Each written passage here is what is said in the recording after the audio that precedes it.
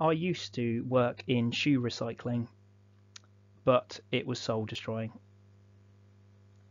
Our first video of our case study of one LIC or NEE uh, is going to be Kenya, and we're just focusing on the location and importance of the country in this video.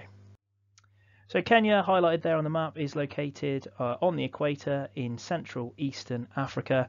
It has a border with the Indian Ocean to the east.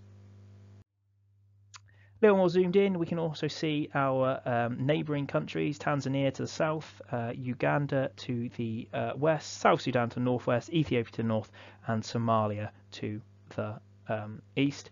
Obviously, as I've already mentioned, Indian Ocean coastline there. Uh, just to draw your attention, the most important things for us there are Nairobi, the capital city, but also Mombasa, an incredibly important port city for us uh, regarding the Toyota case study.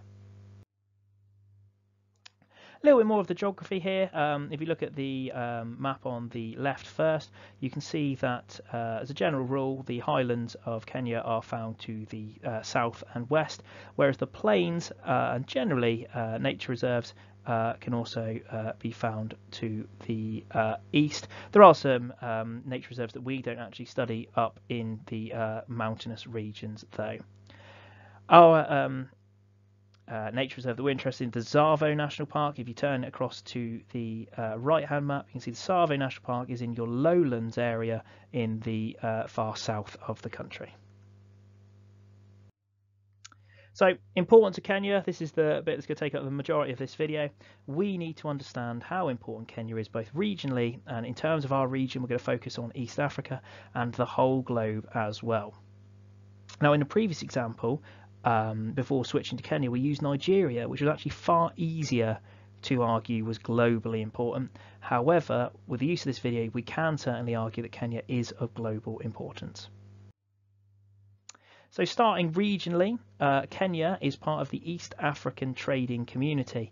This is a free trade zone where member countries uh, can import and export freely uh, without charges. So, um, uh, or quotas as well. You can sell as much as you want. So Tanzania can't stop imports from Kenya and vice versa.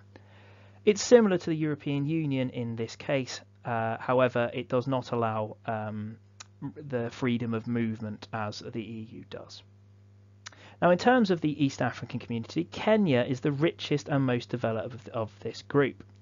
As a result, it has big influence on the other members of this group, particularly in terms of a free trade zone, as Kenya is pretty much the only one of those countries with a, a growing uh, manufacturing industry, it can actually export its finished goods to the rest of East Africa. So its finished goods, as you'll see in later videos, include the Hino uh, Toyota model. The fact that Kenya is producing these finished goods means it can export it to those countries and it's got almost like a customer base there. South Sudan, Uganda, Tanzania as example countries are desperate to buy those finished products which Kenya can make and Kenya can make a lot of money exporting it to these countries. Furthermore, um, uh, 100,000 migrants uh, from uh, South Sudan, Uganda, Tanzania move to Kenya every year to work as uh, informal and formal workers within Kenya.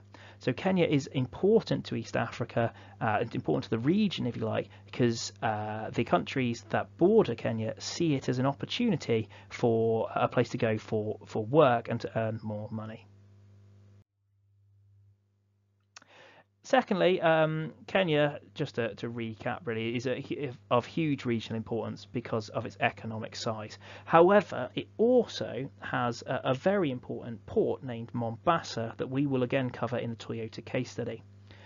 22 million tons of cargo every year come through this port, and much of that cargo which is imported is traded with other East African countries. That's why Kenya is considered the gateway to East Africa. Considering its neighbours briefly, Somalia to the north isn't a particularly safe place for cargo ships to venture to. And as a result, um, products that be sold to South Sudan, Uganda, Tanzania, and, and actually Ethiopia as well, will come through Kenya as it's considered a safer port. This makes Kenya incredibly important to the future of those countries around it as it acts as a trading partner. So the cargo comes into Kenya, then Kenya exports those to, for example, Uganda and Tanzania. Remember, Kenya also produces those products. It can make finished goods to export as well. Outside of the uh, economics or um, the political reason for Kenya um, being the uh, port within East Africa, Kenya has also offered its advice, information, or um, uh, techniques, if you like, on environmental conservation. So Kenya has national parks such as Tsavo and has been somewhat successful in managing the issues that it sees there. As a result, it can offer advice to Tanzania and uh, Uganda to try and protect their wildlife as well. So Kenya has a role of uh, leading these East African nations in their fight against um, poaching mainly. Now, globally, this is a slightly more tricky one to make Kenya uh, important. In terms of East Africa, Kenya has a, a, a central role to play. In terms of uh, globally, Kenya's role is, is much more marginalised.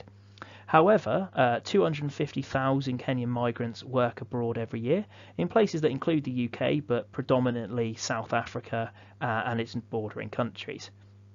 Uh, with that in mind, it makes uh, Tanzania important because those people are contributing to the uh, economy of neighbouring countries.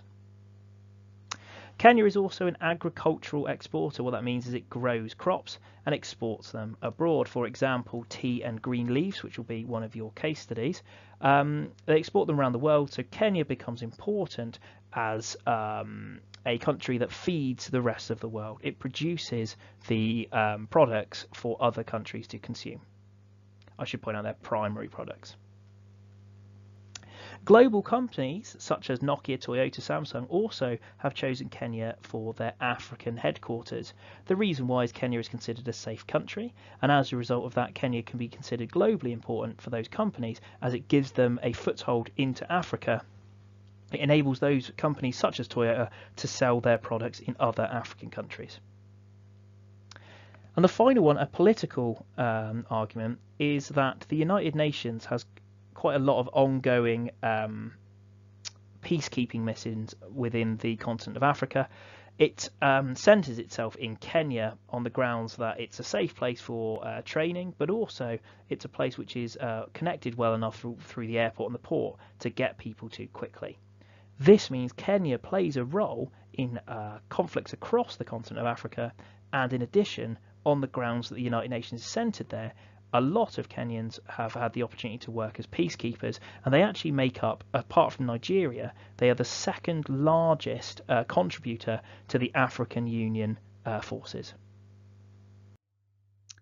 And the final side, importance of Kenya globally. Obviously, uh, as you know, Kenya is a tourist hotspot. You have 2 million international uh, tourists every year, including from the UK. So it provides um, a place for, for leisure. It also, obviously, the airway connect people well uh, to the UK and the USA through uh, Nairobi or Kenyatta Airport, which means that um, Kenya is important for the exportation of goods. Final one, uh, Kenya has a rainforest and many national parks as well, so it's incredibly important globally for uh, carbon emissions. And what I mean by that is Kenya can act as a carbon sink. If it stops cutting down its trees so much and the grasslands are able to grow, they can trap carbon dioxide, which means there's less carbon dioxide in the atmosphere, which means global warming can be reduced.